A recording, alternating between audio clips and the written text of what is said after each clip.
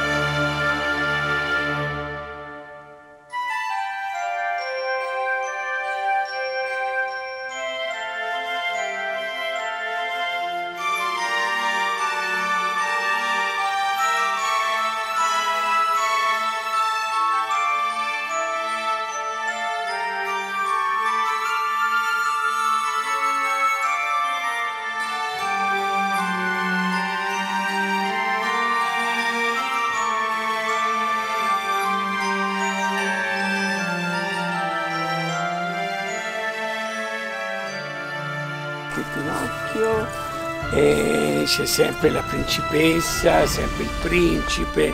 Invece noi abbiamo dedicato un amore fra babbo e figlio.